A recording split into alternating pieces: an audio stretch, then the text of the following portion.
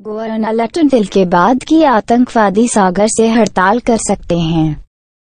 राज्य के बंदरगाहों विभाग ने बंद किनारा कैसीनो और क्रूज जहाजों को लिखा है।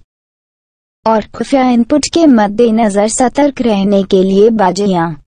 राज्य के बंदरगाह मंत्री ने कहा कि गोवा ने शुक्रवार को सभी जहाजों और कैसीनो को राज्य के तट से संचालित करने के लिए एक चेतावनी जारी कर दी है। चेतावनी गोवा के तट को बंद करने वाले सभी जहाजों और कैसीनो को जारी। मुंबई और गुजरात तट के लिए भी चेतावनी तो पोर्ट्स मंत्री। इंतिल ने समुद्र के माध्यम से आतंकवादियों के संभावित आगमन के बारे में बताया, उन्होंने कहा। राज्य के बंदरगाह मंत्री जयेश सालगांवकार ने बताया कि उनके विभाग ने सभी किनारे कैसीनो जल खेल संचालकों और बाजिस को चेतावनी जारी कर दी है क्योंकि भारतीय तटरक्षक ने पश्चिमी तट पर संभावित आतंकवादी हमले के बारे में खुफिया जानकारी साझा की है। चेतावनी गोवा के लिए विशिष्ट नहीं है, यह मुंबई और गुजरात तट के लिए भी है।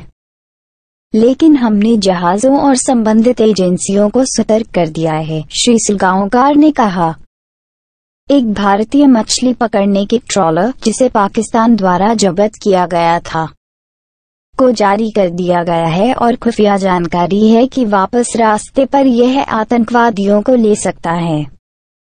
मंत्री ने कहा, राज्य के बंदरगाहों विभाग ने बंद किनारा कैसीनो और क्रूज जहाजों को लिखा है और खुफिया इनपुट के मद्देनजर सतर्क रहने के लिए बाजियाँ जिला तटरक्षक बल से खुफिया जानकारी प्राप्त हुई है कि विरोधी राष्ट्रवादी तत्वों ने कराची में पकड़े गए भारतीय मछली पकड़ने वाली नाव में चढ़ाई की है और वे भारतीय तट पर उतरने और महत्वपूर्ण प्रतिष्ठानों पर हमला कर सकते हैं।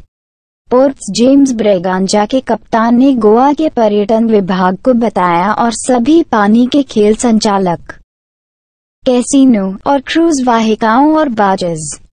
सभी जहाजों को सुरक्षा बढ़ाने के लिए और संबंधित अधिकारियों को किसी भी देखा या अप्रिय आंदोलन की। रिपोर्ट पत्र राज्यों। संपर्क किए जाने पर जेम्स ब्रेगांजा ने सभी संबंधित लोगों को पत्र भेजने की पुष्टि की, यह पत्र। राज्य के मुख्य सचिव धर्मेंद्र शर्मा को भी चयनित किया गया था।